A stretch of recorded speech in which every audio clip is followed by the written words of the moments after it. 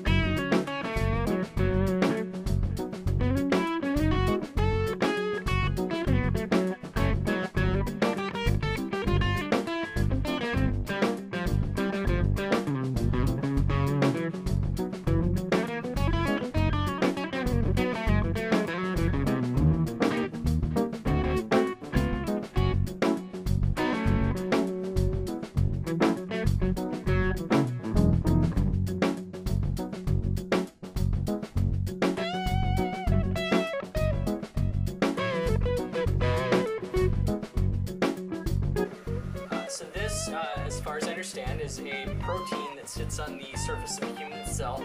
The, uh, the cell wall kind of is, is in this region here, and this provides uh, an opening here. Uh, this um, protein is um, of interest in relation to uh, beta blocker drugs. So if I turn on additional molecules, we see one molecule in here that is actually a, a beta blocker. So a scientist might research how it interacts with this, the other geometry in this area. So I might look at it right here is a, a sort of cartoon rendering. Um, I could change it to um, modal reviewing each atom. It doesn't make sense to me, but to a scientist, What this app does is shows us past presidential nominating convention information, both on the Democratic side and on the Republican side. If I touch the Republican button, to see in the direction of my finger there, the card moves to my finger. St. Louis moves to the location of my finger. St. Louis had multiple conventions in it, so this allows me to go in and check out the multiple conventions and in uh, LA there was only one. All of this is data driven. So if I wanted to explore this, these are all the digital assets that were provided to us from the Library of Congress.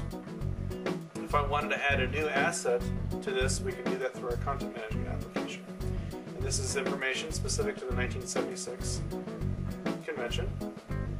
And now I can just explore with all the surface goodness and take a look at all these different digital assets. By touching this, it flips it around, I can see more information. We also have videos that were provided to us.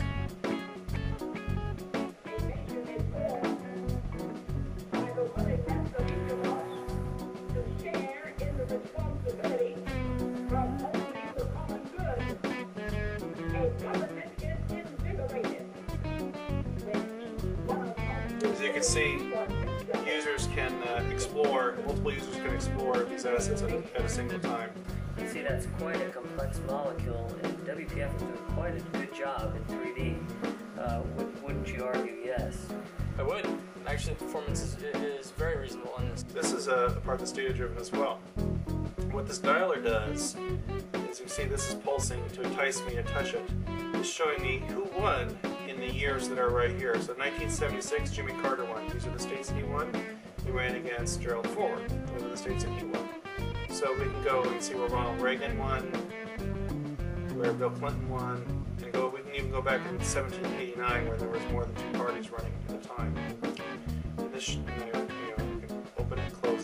And so on and so forth. And this has the same kind of inertia as other as you would expect on a surface. And place his badge with a byte tag in the back to authenticate. At this point, we have a list of patients. In a control that you built, a carousel-like control. Over here, we have the pieces of anatomy for the selected person. So, phalangeal into the heart. Notice we're going to HealthVault and authenticating in Health Vault. At this point, we're able to do multi-touch manipulations on the heart. So let's talk a little bit about multi-touch. That means both of us technically can be working at the same time. See my hands too. I'm rotating while Kevin is zooming. All right, totally sweet. So this app is essentially designed over here.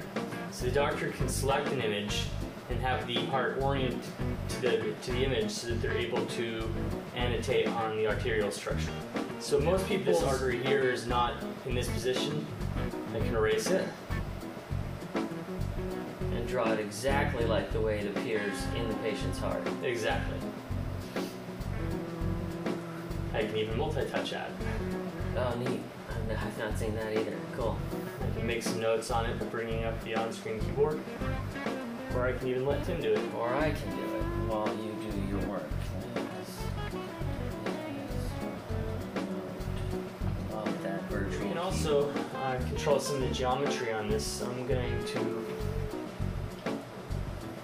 Okay, This is definitely my favorite part of this application, looking inside the heart and then zooming in 3D. Technically, you could zoom right into an aorta or something like that.